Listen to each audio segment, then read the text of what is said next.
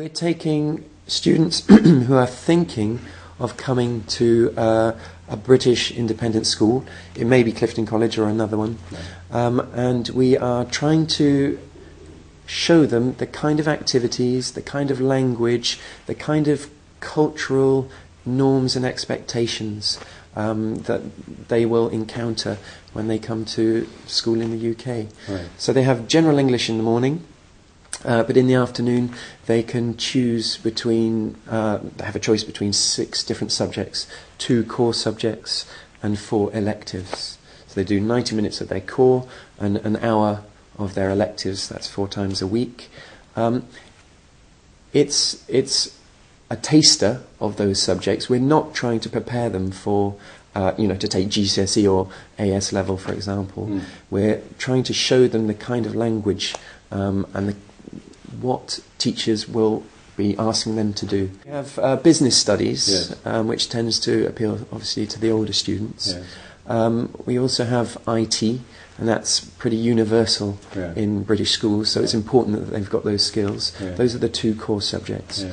Um, our electives are maths, science, psychology, and literature and art. So Right. it's a range. We're trying to cater for all interests. What do you think of uh, Clifton? Well, it's a big town. I mean, it's big and has lots of action. Yes. I when I wanted to go, I just wanted to go somewhere that it's not boring. It has some action activities like that. And do you find that here? Yeah. What do you like best? Well, I like uh, sports activities. Like today will be archery, so I want to go. Archery. Oh, Yeah.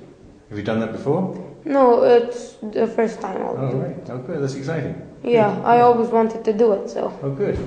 When you go back to Serbia and you talk to your family and your friends, will you tell them that you are happy here? Yes, Ah. I always recommend to everyone to come here. You would. Good. Will you recommend this course to your friends? Of course, Yes. yeah. because it's wonderful. Uh, it takes there so many people from overseas, uh, and you have wonderful opportunities for doing sports, for leisure, and studying hard, Yeah. of course. Why did you choose Clifton? because it's one of the best boarding schools in UK. It has very nice buildings and I've heard as very good teachers.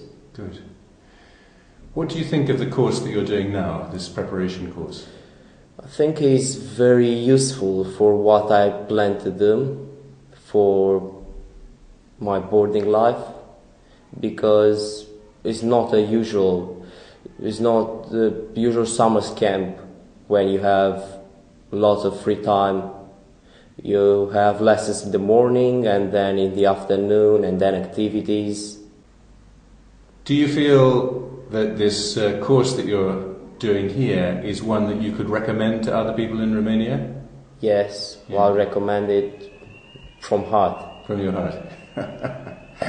okay, Andrea, that was very nice. Thank you very much. So, what do you think of Clifton as a, as a, as a, as a place?